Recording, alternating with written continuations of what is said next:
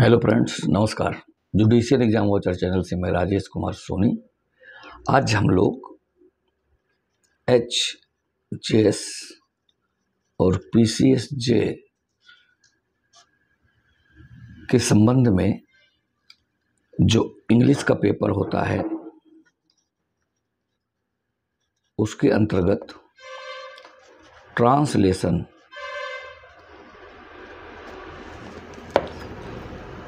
को पढ़ेंगे। और आज हम ट्रांसलेशन सीखने के लिए जो बहुत ही बेसिक चीज़ है, उस कंसेप्ट को क्लियर करेंगे। वीडियो को ध्यान से देखिएगा, सुनिएगा, समझिएगा। जिनको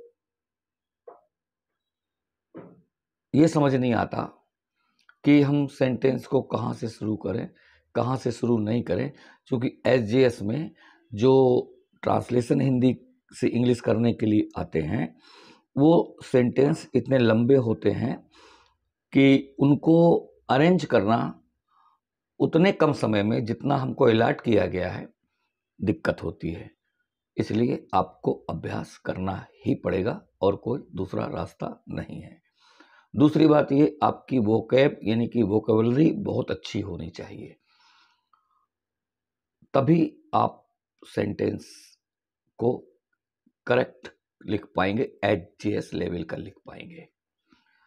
और चूँकि एच जी एस या पी सी एस जे का एग्ज़ाम है, इसलिए उसमें ट्रांसलेशन का या यूँ कह लीजिए इंग्लिश का एक लेवल होता है, उसी लेवल में आपको चलना होगा। आपके पास थोड़ा बहुत लीगल टर्मोलॉजी भी होना चाहिए। तो चलिए, मैं आज बात करने वाला हूँ वर्ब की बात करने वाला हूँ। इस वर्ब को समझ लिया तो आपको टेंस भी समझ आ जाएगा और टाइम भी समझ आ जाएगा। आज हम टाइम एंड टेंस को अलग करके देखेंगे और हम देखेंगे ये आपस में कैसे कनेक्ट होते हैं। किसी भी सेंटेंस में अगर जब हम वर्ब की बात करते हैं तो इसका मतलब हम इन दोनों की बात करते हैं। जब भी हम ये टेक्निकल वर्ड वर्ब इस्तेमाल करते हैं तो हम टेंस और टाइम दोनों का बात करते हैं। टेंस का मतलब हो गया टेंस के अंतर्गत मिला होता है एक्शन प्लस टाइम ये दोनों चीज़ें मिल करके टेंस टर्म को पूरा करती है। ठीक है? तो इसीलिए हम टेंस को समझने के लिए एक्शन और टाइम को समझना होगा। एक्शन और टाइम को बताने के लिए हम सेंटेंस में वर्ब इस्तेमाल करते हैं। अब कंफ्यूज नहीं होना। देखो, हम लोग को पढ़ना तो वर्ब ही है। तो ये वर्ब का मतलब हुआ टेंस एंड टाइम। तो और टेंस का मतलब होता है एक्शन प्लस टाइम। तो आप यूँ कह सकते हैं कि वर्ब का मतलब टेंस हम सिर्फ़ समझने के लिए ये बातें इसलिए कर रहे हैं क्योंकि हम ये मान के चल रहे हैं कि हमको ट्रांसलेशन सीखना है नहीं आता है। इसलिए हम इनिशियल वे पे थोड़ा सा आ, सस्ती टर्मोलॉजी यूज़ करके समझने का प्रयास मैया मैं समझाने का प्रयास आपको कर रहा हूँ। तो इतनी सी बात है और इतनी सी बात आपको समझना है कि वर्ब का मतलब एक्शन प्लस टाइम अगर हम बता दें तो जो वर्ड ऐसा होगा, जो एक्शन और टाइम सेंटेंस के अंतर्गत आकर के डिनोट करने लगेगा, हम उस वर्ड को ही वर्ब बोल देंगे। बस ये आप समझ लीजिए। और इन दोनों को मिला करके हम टेंस बोलते हैं। तो टेंस की आप लोगों ने बचपन से अभी तक बहुत सी पहचानें पढ़ी होंगी। और पहचान रटी भी होंगी, आपको पता भी होगा, आती भी होंगी। लेकिन अभी आपको वहाँ उन पहचान को दिमाग में नहीं लाना है। अभी आपको ये देखना है कि आपने टेंस के अंतर्गत पढ़ा कि प्रेजेंट टेंस होता है, पास्ट टेंस होता है, फ्यूचर टेंस होता है, ये आपने पढ़ रखा है। तो हम इसको टेंस क्यों कहते हैं? क्योंकि हम इसके अंतर्गत जो भी वर्ब यूज़ करते हैं, वो टाइम और एक्शन दोनों की बात करती है। तो अब हम ये, यहाँ पर आपको बताना चाहते हैं कि इसको आप अभी टाइम मानिए। इसको भी आप टाइम मानिए। इसको भी टाइम मानिए। और इसको आपको पढ़ना ही नहीं है क्योंकि ये फ्यूचर कोई टेंस होता ही नहीं है। इसको मैं बाद में आपको बताऊँगा क्यों नहीं होता है। और अगर होता है तो फिर हम इसको कैसे इस्तेमाल करते हैं? तो अब आप देख लीजिए, प्रेजेंट टाइम और पास्ट टाइम को देख लीजिए।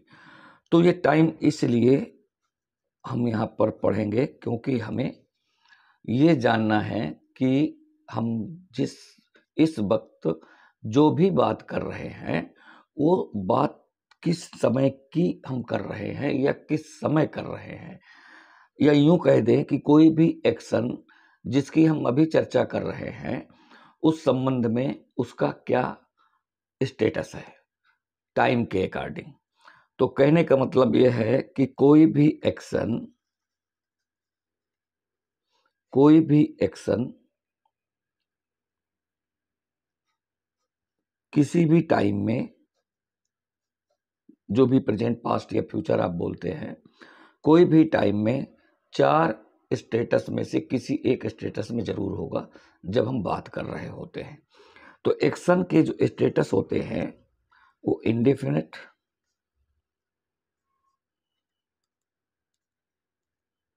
कंटिन्यूअस और परफेक्ट और परफेक्ट कंटिन्यूअस।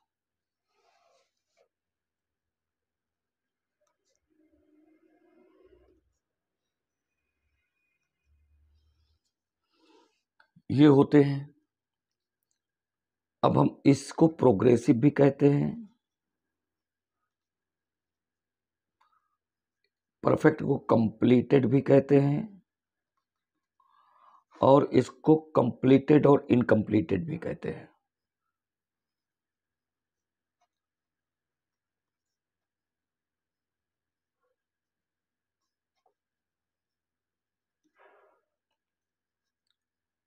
यहाँ समझ लेना है। तो कंटिन्यूस को हम प्रोग्रेसिव भी कहते हैं और इनकम्प्लीट भी कहते हैं। तो अगर हम किसी एक्शन की बात कर रहे हैं तो वो एक्शन किसी भी टाइम में, इन चार स्टेटस में से किसी भी स्टेटस में ज़रूर होगा। अगर हम टेंस पढ़ रहे हैं टेंस समझ रहे हैं तो ये आप मान के चलिए कि ये किसी भी एक्शन की चार स्टेजेज होती हैं या स्टेटस होते हैं। कुछ भी आप कह सकते हैं अपने समझने के लिए।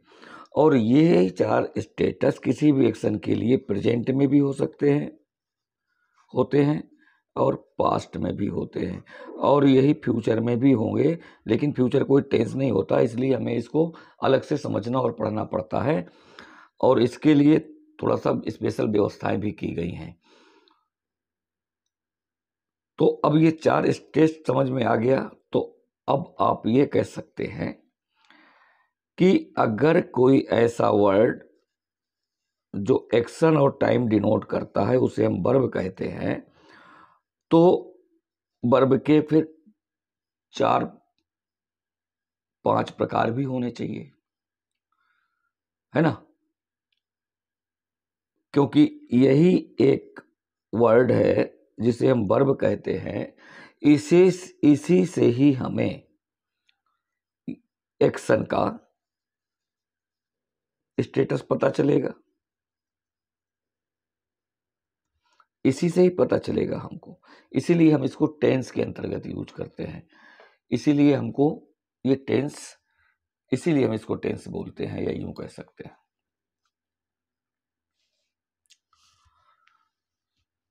इतनी बातें बड़े आराम से आप समझ लो।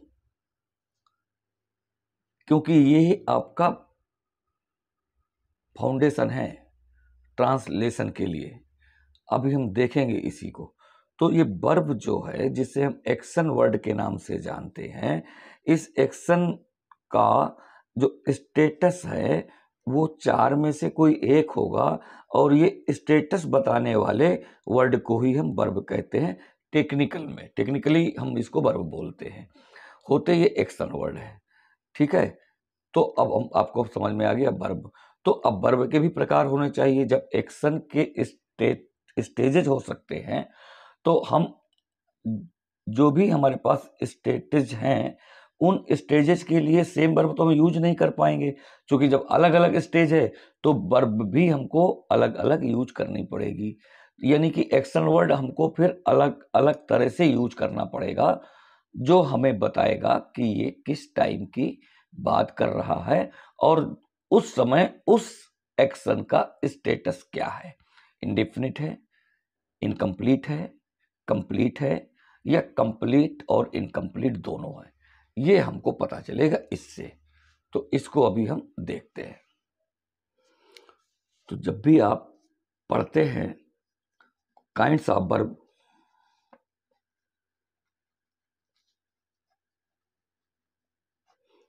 वर्ब पढ़ते हैं तो आप किसी भी बुक में देखेंगे तो जनरली इसके तीन फॉर्म के बारे में चर्चा होती है है ना? किसी किसी बुक में पाँच कालम भी होते हैं तो हम दोनों की चर्चा करेंगे, लेकिन स्पेशली पहले आप वर्ब के तीन फॉर्म जो भी आपके बुक में बने होते हैं, कालम के अंतर्गत, उनको समझिए वो क्यों बने होते हैं और उनका काम क्या होता है। तो देखिए, अगर आप देखेंगे वर्ब के काइंड में तो आपको प्रेजेंट का कालम मिलेगा, पास्ट का कालम मिलेगा। इसके बाद फ्यूचर का कालम आपको कभी नहीं मिलेगा, आपको पास्ट पार्टिसिपल का कालम मिलेगा। ये आपको सीखना है। यानी कि जब भी किसी भी किताब में अगर काइंड्स ऑफ़ वर्ब पढ़ेंगे तो टेंस तो तीन होते हैं, लेकिन आपको दो ही टेंस की फॉर्म मिलेंगी। तीसरे टेंस की फॉर्म नहीं मिलेगी। फ्यूचर की कोई फॉर्म नहीं होती है। उसको हम अरेंज करते हैं, क्योंकि फ्यूचर कोई टेंस नहीं होता है। इसलिए यहीं कहीं से हम लोग अरेंज करके फ्यूचर टेंस सीखेंगे। तो हम यहाँ देख लेते हैं कि फ्यूचर की तो कोई वर्ब नहीं होती तो उसकी हम चर्चा नहीं करेंगे। प्रेजेंट फॉर्म होता है पास्ट फॉर्म होता है और पास्ट पार्टिसिपल फॉर्म होता है। अब यहीं पर हम आपको ये बता दें कि पास्ट पार्टिसिपल वर्ब नहीं होती, ये वर्ब नहीं होती, ये होती है एडजेक्टिव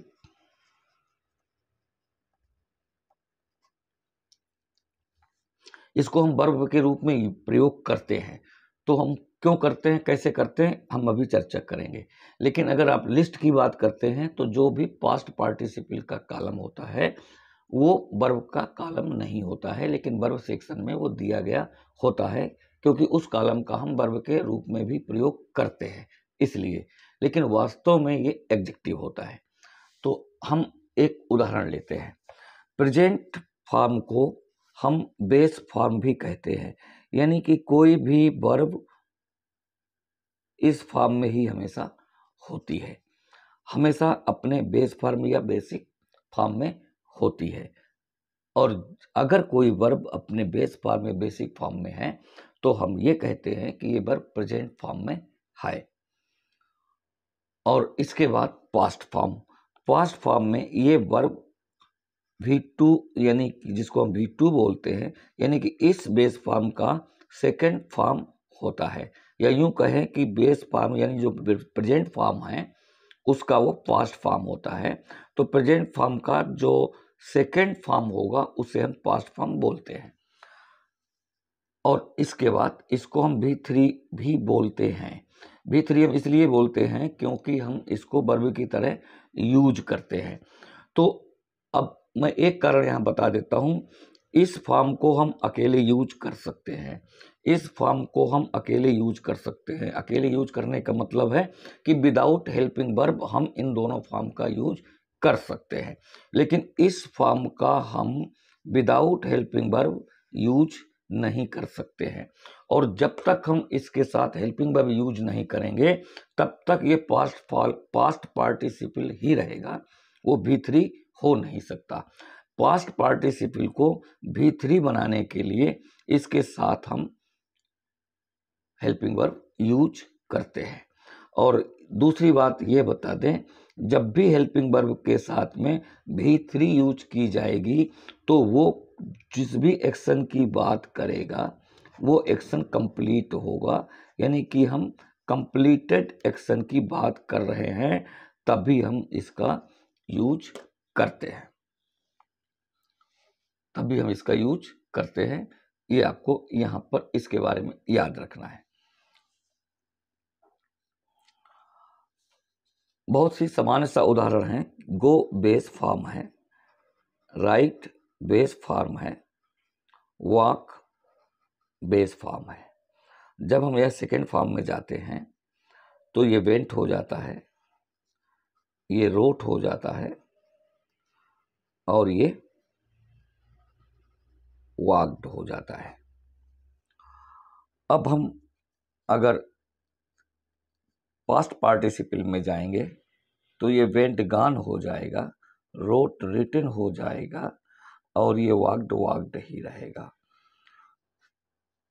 तो अब हम इसकी भी चर्चा कर लेंगे कि कुछ ऐसी, ऐसे वर्ड होते हैं एक्शन वर्ड होते हैं, जिन्हें हम वर्ब कहते हैं, जिनके तीनों फॉर्म अलग अलग होते हैं। यानी कि प्रेजेंट पास्ट और पास्ट पार्टिसिपल तीनों फॉर्म अलग अलग होते हैं।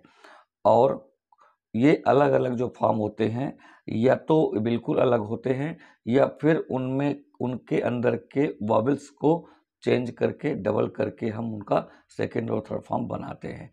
इन वर्बों को यदि छोड़ दिया जाए तो सारी वर्ब जो भी होंगी, उनको हम ईडी e लगा करके थर्ड फॉर्म और सेकेंड फॉर्म बना लेते हैं। तो ये हम नेक्स्ट में सीखेंगे, लेकिन यहाँ हमें सिर्फ़ ये जानना है कि जो वर्ब के फॉर्म होते हैं और जो एक्शन के स्टेजेस होते हैं, उनका मैच आपको पता होना चाहिए, आना चाहिए। तो यहाँ पर हम अब देख लेते हैं कि हमारे पास जो एक्शन का स्टेज या स्टेटस है, वो इंडेफिनिट इनकम्प्लीट और कंप्लीट और कंप्लीट इनकम्प्लीट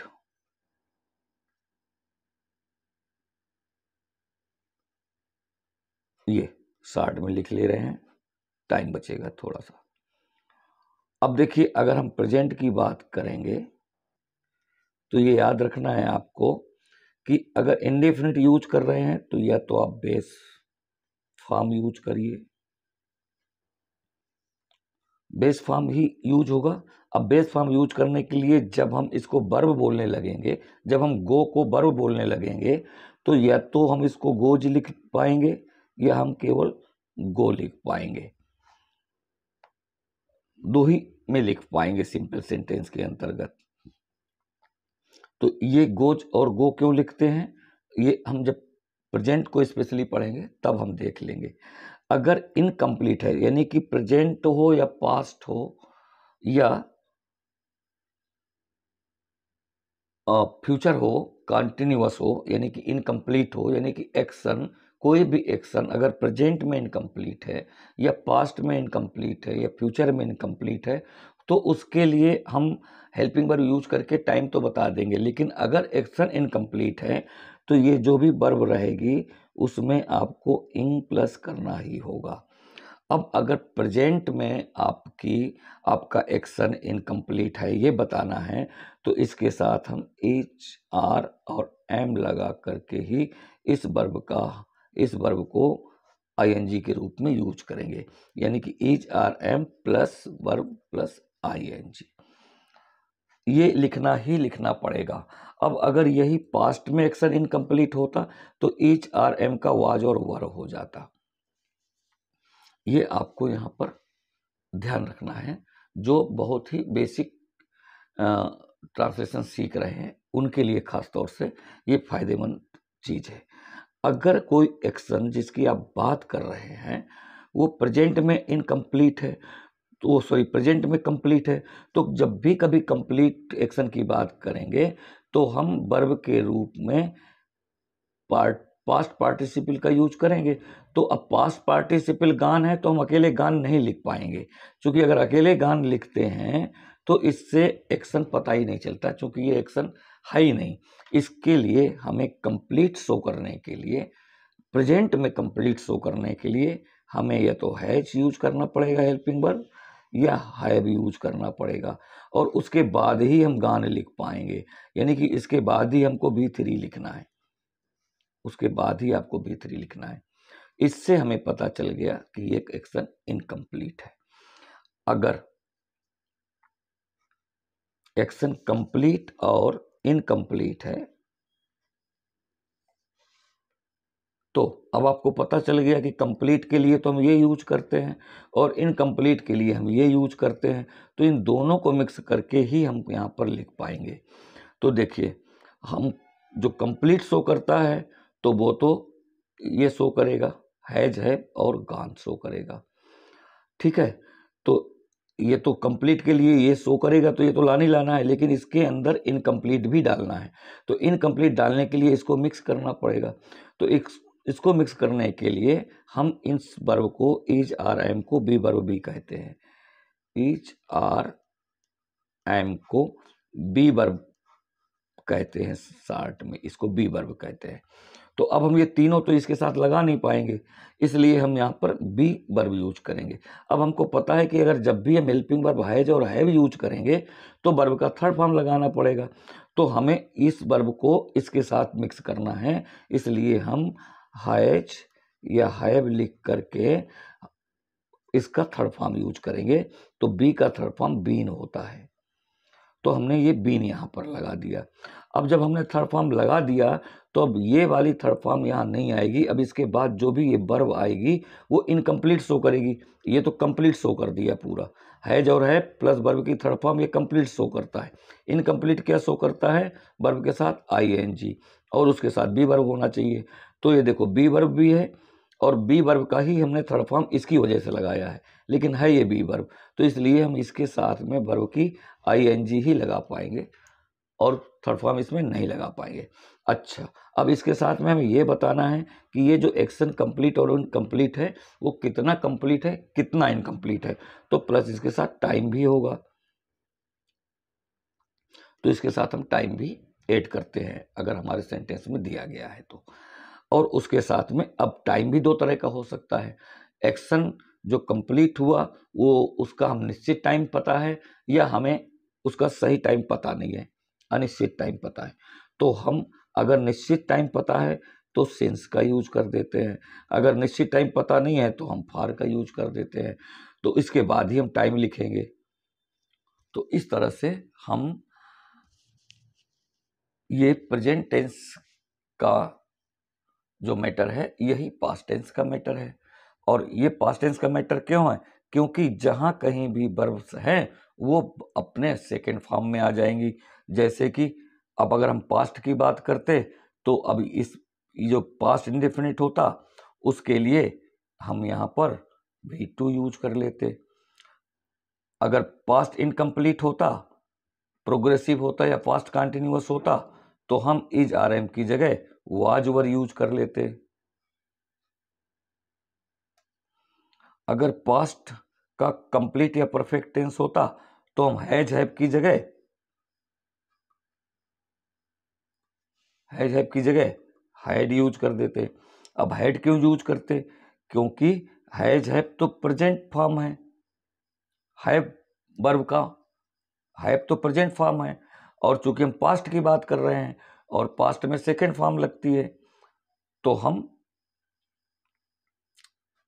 हैड यूज़ कर देते हैं इसका। चूँकि हैव हैड हैड इसकी फॉर्म होती है तो हम वहाँ पर हैज़ हैव की जगह हैड यूज़ कर देते हैड हेल्पिंग वर्ब बन जाती और इसके साथ में पास्ट पार्टिसिपल को भी थ्री बना करके लिख देते एक्शन कंप्लीटेड पास्ट में हो जाता। और इसी तरह से कंप्लीट और इनकम्प्लीट शो करने के लिए जहाँ कहीं हैज़ है बीन लिखा हुआ है, वहाँ पर हम हैड बीन अकेले लिख देते। और चूँकि हैड पास्ट में आ गया बीन बी की फॉर्म हो गई, इसलिए हम इसके साथ भी वर्ब की आईएनजी फॉर्म लगाते और टाइम के लिए सेम यूज़ करते। तो इस तरह से हम प्रेजेंट और पास्ट का जो कॉम्बिनेशन है एक्शन और एक्शन के स्टेज का और उसके साथ में उसके टाइम का। तो अगर ये कॉम्बिनेशन आपको कंप्लीट है आपको पता है तो आपसे सेंटेंस जो भी हिंदी में आया है, उसका टेंस कभी गड़बड़ नहीं होगा आपसे। इसलिए कभी भी अगर आप लिखते हैं तो याद रखिए कि अगर जो भी वर्ब है, वो अपने आप में प्यूलर फॉर्म में होती है। अच्छा एक बात यहाँ पर और समझ लीजिए, बहुत ज़रूरी है। ये टाइमलाइन देखिए यहाँ पर प्रेजेंट होता है। प्रेजेंट सिर्फ़ इतना ही है। इधर फ्यूचर होगा, अगर हम आगे जाएँगे तो आपको फ्यूचर ही मिलेगा। पीछे जाएँगे तो हमें पास्ट मिलेगा। ठीक है? तो अब यहाँ ये देखिए कि ये प्रेजेंट सिर्फ़ इतना ही है। इतना ही है। इसके बाद इधर पास्ट है, इधर पास्ट है। तो यहाँ पर मैं ये बता रहा हूँ कि प्रेजेंट से हम पास्ट में, यहाँ भी पास्ट होगा। जितना भी पीछे आएँगे, उतना पास्ट होता जाएगा। तो यहाँ पर मैं आपको ये बता रहा हूँ कि पास्ट टेंस कब यूज़ करना है और पास्ट परफेक्ट, यानी कि पास्ट टेंस और पास्ट परफेक्ट टेंस। या यूँ कहें कि पास्ट इंडिफिनिट और पास्ट परफेक्ट टेंस कब यूज़ करना है? तो देखिए, अगर प्रेजेंट से आप पास्ट में जाते हैं, तब तो आपको भी टू ही यूज़ करना है, यानी कि पास्ट इंडिफिनिट ही यूज़ करना है। याद रखिएगा। लेकिन अगर आप पास्ट से पास्ट में जाते हैं तो फिर ये टेंस कभी यूज़ नहीं होगा। आपको ये टेंस यूज़ करना है। यानी कि पास्ट परफेक्ट परफेक्ट यूज़ करना है। यानी कि had plus V three use करना है। ये याद रखिएगा, ये गलती हो जाती है लोगों से। तो प्रेजेंट से पास्ट में जाइए, हमेशा भी टू यूज़ करिए। ज़्यादातर हिंदी का जो ट्रांसलेशन आता है, वो प्रेजेंट से पास्ट में ही होता है। लेकिन फिर भी बीच में बहुत सारे सेंटेंस ऐसे मिल जाते हैं जो पास्ट से पास्ट में जाते हैं। तो वहाँ पर ऐसे सेंटेंसों का जो ट्रांसलेशन है, वो हाइट प्लस बी थ्री से ही करना होता है। तो उसमें आप सतर्क रहिएगा, ध्यान दीजिएगा। ये इंपॉर्टेंट बात थी। और इसके लिए आपने, मैं बता दूँ चूँकि आप सब लोग बुद्धिजीवी लोग हैं, इसलिए एक सेंटेंस तो आपको याद होगा जो हम लोगों ने बचपन में बहुत पढ़ा है कि डॉक्टर के आने से पहले रोगी मर चुका था। देखिए, कितना सिंपल है, आपको मैं याद दिला रहा हूँ, जिससे आपको मेरा ये वाला कंसेप्ट क्लियर हो जाएगा। उस समय ज़रूर नहीं हुआ होगा, लेकिन अब हो जाएगा। डॉक्टर के आने से पहले रोगी मर चुका था। तो देखिए यहाँ पर यह समझना है कि कौन सा काम पहले समाप्त हुआ और उसके बाद फिर कौन सा काम हुआ। तो अब ये ये देखिए, डॉक्टर के आने से पहले रोगी मर चुका था। तो पहले क्या हुआ? रोगी मरा। डॉक्टर बाद में पहुँचा ना? डॉक्टर बाद में पहुँचा। तो यहाँ पर ये जो है, ये हाइट प्लस भी थ्री से बनेगा। और ये काम चूँकि इसके बाद हुआ ये आपका भी टू में बनेगा। अब यहाँ ये देख लीजिए कि अगर अभी रोगी बीमार है तो हम ने डॉक्टर को बुलाया, डॉक्टर को कॉल किया तो हमने प्रेजेंट से पास्ट में यानी कि अब कुछ देर बाद ही तो डॉक्टर आएगा। और डॉक्टर पहुँच नहीं पाया, रोगी मर गया तो यहाँ दो एक्शन हो रहे हैं और ये दोनों पास्ट में हो रहे हैं। क्योंकि ये हम प्रेजेंट में बात नहीं कर रहे हैं। ये तो एक साल, दोनों एक्शन पास्ट में हो चुके हैं। हम आज बात कर रहे हैं कि डॉक्टर के आने से पहले रोगी मर चुका था। यानी कि वो जो जो काम कभी हमारे सामने हुआ था, उसकी चर्चा हम आज कर रहे हैं। आज कर रहे हैं चर्चा। तो इस तो ये काम प्रेजेंट में नहीं हो रहा है। हम अभी बात कर रहे हैं, लेकिन बात हम पास्ट की ही कर रहे हैं। तो ये दोनों एक्शन पास्ट में हुए। तो जो एक्शन प्रेजेंट से पास्ट में जाएगा, वो भी टू वाला है। और जो एक्शन पास्ट से पास्ट में जाएगा, वो हाइट प्लस वी थ्री यानी कि चुका था वाला है। जैसे जब मैं स्टेशन पहुँचा ट्रेन जा चुकी थी, ठीक है? यानी कि अब हम प्रेजेंट की बात ही नहीं कर रहे हैं। हम प्रेजेंट में बैठ करके पास्ट की बात कर रहे हैं। वो तो मेरे साथ वो घटना हो चुकी है उसकी चर्चा हम आज कर रहे हैं। हो सकता है मैं चार दिन पहले पाँच दिन पहले कहीं गया हूँ और मेरे साथ ये घटित हुआ हो कि मैं स्टेशन पहुँचा ट्रेन छूट गई थी। अब वो पाँच दिन बाद मैं घर आकर के बताऊँगा ना कि एक दिन आ, मैंने टिकट लिया और मैं स्टेशन पहुँचा गाड़ी जा चुकी थी। तो वो दोनों के दोनों एक्शन पास्ट में हो रहे हैं। तो वहाँ ये देखना है कि जो दो एक्शन पास्ट में हो रहे हैं उसमें पास्ट से पास्ट में कौन सा एक्शन हो रहा है? जो पास्ट से पास्ट में एक्शन हो रहा है, उसको हाइट प्लस वी थ्री से ही आपको बनाना पड़ेगा। और जो प्रेजेंट से पास्ट में उस टाइम गया, वो आपका वी टू यानी कि पास्ट इंडिफिनिट में बनेगा। एक बात तो ये क्लियर हो गई, मुझे लगता है। अब अगर इसको हम करना चाहेंगे तो आप सबसे बन रहा होगा, इसलिए इसको मुझे यहाँ पर करने की आवश्यकता नहीं है। हो सकता है आपके दिमाग में आ भी गया हो। कि क्या होगा? और आप मैच कर लीजिएगा जो मैं बोल रहा हूँ। ध्यान से सुनिए और दिमाग में लाइए अपना इसका ट्रांसलेशन और देखिए कि एकदम से मैच कर रहा है कि नहीं कर रहा है। अगर नहीं कर रहा है तो फिर मैच कराइए। दूसरी बात यह है कि हम बर्ब में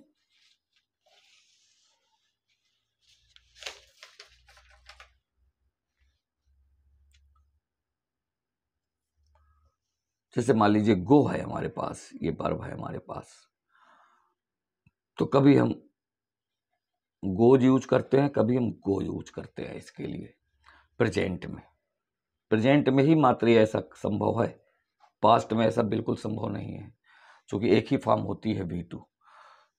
तो हम ये प्रेजेंट में बात करते हैं, प्रेजेंट की ये वर्ब है, बेस फॉर्म में है ये ये वर्ब बेस फॉर्म में है प्रेजेंट की, ये ये वर्ब प्रेजेंट में है और ये बेस फॉर्म में है। अब इसको हम टेंस के अंतर्गत या ट्रांसलेशन के अंतर्गत कभी गोज लिखते हैं, कभी हम गो लिखते हैं। तो ऐसा इसलिए लिखते हैं क्योंकि अंग्रेज़ी की सारी की सारी वर्बें प्लूरल होती हैं। ये आप याद रखिएगा प्लूरल होती है, बहुवचन में होती हैं। ठीक है? और इसको हम सब्जेक्ट के अकॉर्डिंग यूज़ करते हैं, क्योंकि आपने नियम पढ़ा होगा, जिस वचन का कर्ता होगा, उसी वचन की क्रिया हम यूज़ करते हैं। सब्जेक्ट वर्ब एग्रीमेंट के नाम से इसको जानते हैं। यानी कि सब्जेक्ट और वर्ब का एग्रीमेंट आपस में सही होना चाहिए। और एग्रीमेंट का मतलब ये है कि जिस वचन का कर्ता होगा, उसी वचन की क्रिया होगी। तो अगर एक वचन का कर्ता है तो क्रिया भी एक वचन की होगी। तो हम यहाँ क्या करते हैं? वर्ब को सिंगुलर बनाने के लिए ऐसी आई एस जोड़ लेते हैं। इसलिए इसको हम सिंगुलर वर्ब बना देते हैं और कुछ नहीं करते हैं। और अगर हमें हमारे पास जो सब्जेक्ट होगा, वो बहुवचन का होगा तो हम गो ही यूज़ करते हैं, बेस फॉर्म यूज़ कर देते हैं। क्यों? क्योंकि बेस फॉर्म अपने आप में प्यूलर होती है। इसलिए अगर सब्जेक्ट सिंगुलर है तो आपको ऐसिया ई एस वर्ब के साथ जोड़ना है। अगर सब्जेक्ट प्यूलर है तो आपको सीधे बेस फॉर्म ही यूज़ करना है, क्योंकि ये बेस फॉर्म अपने आप में प्यूलर होता है। इसीलिए हम लिखते हैं he goes she plays he writes they go you beep ऐसे लिखते हैं। हम देगोज नहीं लिख सकते, यू बीप्स नहीं लिख सकते। तो ये पता चल गया कि हम अगर ऐसी आई एस किसी बेस फॉर्म में लगाते हैं तो क्यों लगाते हैं और हम कहाँ यूज़ करते हैं? तो केवल प्रेजेंट में ही यूज़ कर पाते हैं। प्रेजेंट के सिंपल सेंटेंसेस पर ही हम यूज़ कर पाते हैं। अदर जगह हम यूज़, इनका होता ही नहीं है तो अपन कर ही नहीं पाएँगे। दूसरी बात ये है, अगर हम इन्हीं को निगेटिव बना देते हैं। ये तो सिंपल हो गए। सिंपल सेंटेंस कहलाते हैं ये। इन्हीं को हम नेगेटिव बना देते हैं। तो अगर सब्जेक्ट के सब्जेक्ट एस एस का है तो बर्ब एस या ई एस वाली होगी। तो अगर बर्ब एस ई एस वाली है, इसको नेगेटिव बनाने के लिए, हम तो नेगेटिव बनाने के लिए डू वर्ब का यूज़ करते हैं डू नाट लगाते हैं।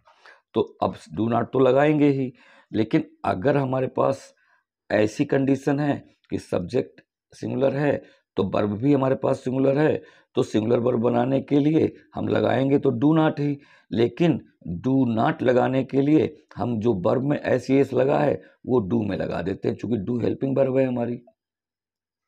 तो वो जो मेन वर्ब में एस एस लगाते हैं सिंपल सेंटेंस में, वो एस एस हेल्पिंग वर्ब में जुड़ जाता है। इसलिए डच नाट के साथ में जो बर्ब आएगी, अब ये बेस फॉर्म में हो जाएगी। है ना? अगर ये एस पी वाला होता सब्जेक्ट प्यूलर होता तो उसमें बर्ब ज़ीरो होती, यानी कि बेस फॉर्म में होती। और जब बेस फॉर्म में होती तो हम डू नाट लगा करके उस बर्ब का ही यूज़ कर देंगे। यानी कि बर्ब को हम सीधे बेस फॉर्म में ही रख देंगे। तो इस तरह से हम प्रेजेंट इंडिफिनिट टेंस में सिंपल सेंटेंस और नेगेटिव सेंटेंस में थोड़ा सा फ़र्क करके चलते हैं, क्योंकि सिंपल सेंटेंस में किसी तरह की कोई हेल्पिंग वर्ब नहीं होती है। और प्रेजेंट इंडेफिनेट के नेगेटिव टेंस में हमको हेल्पिंग वर्ब यूज़ करनी पड़ती है। हेल्पिंग वर्ब तो हम डू नॉट यूज़ करते हैं, लेकिन जब हमारे पास सब्जेक्ट सिंगुलर होता है और वर्ब सिंगुलर होती है तो हम सिंगुलर वर्ब के साथ में डू नॉट की जगह डज नॉट लगाते हैं और उसके साथ में फिर बेस फॉर्म लगा देते हैं क्योंकि इसका ऐसे ई एस हम यहाँ यूज़ कर चुके हैं, इसलिए हम इसको हटा देंगे और सीधे वर्ब बेस फॉर्म यूज़ कर देंगे। और इसीलिए हम लिखेंगे he does not go they do not go हम ऐसे लिखेंगे। यहाँ पर थोड़ा सा फ़र्क कर देते हैं। और ये आपको पता होगा, लेकिन फिर भी गलतियाँ होती है। इसलिए वो गलतियाँ ना हो, आपको बहुत सी चीज़ें जो अभ्यास में नहीं है, अभ्यास में आ जाए और बेसिक तरीके से आ जाए। अब आपको इतनी जानकारी हो गई है तो अब इससे आप पास्ट में अपने आप कन्वर्ट कर सकते हैं, क्योंकि पास्ट में, पास्ट वाली वर्ब ही यूज़ करनी है। कहाँ, कैसे यूज़ करना है, ये आपको पता चल गया है एक्शन के स्टेजेस और उसके साथ में जो भी टाइम है, उसको प्लस करते हुए आप जा सकते हैं। तो वर्ब के जो फॉर्म्स हैं और जो स्टेटस है, या स्टेजेज है एक्शन के, ये दोनों मिल के टेंस को फॉर्म करते हैं और ट्रांसलेशन के अंतर्गत जब कभी हम इन कम्बिनेशन को यूज़ करते हैं तो हम उसको टेंस टेक्निकली बोल देते हैं। अभी हम इसके आगे का पार्ट करेंगे और उसके बाद फिर से ट्रांसलेशन की अपनी सीरीज़ शुरू करेंगे और जब भी हम ट्रांसलेशन बनाएँगे तो ये सारी चीज़ें मैं बार बार बोलता रहूँगा ताकि आपको बार बार सुनने से वो चीज़ें लर्न हो जाएँ। आपको जानबूझ करके कोई चीज़ लर्न ना करनी पड़े। याद की हुई चीज़ भूल जाती है, लेकिन बार बार सुनी गई, समझी गई चीज़ भूलती नहीं है, वो अभ्यास में आ जाती है। तो कैसा लगा ये वीडियो? कमेंट करके ज़रूर बताइएगा। अगर अच्छा लगा हो तो लाइक भी कर दीजिएगा, चैनल को सब्सक्राइब कर लीजिएगा और अगर आप चाहें तो अपने मित्रों को शेयर भी कर सकते हैं। Thank you for watching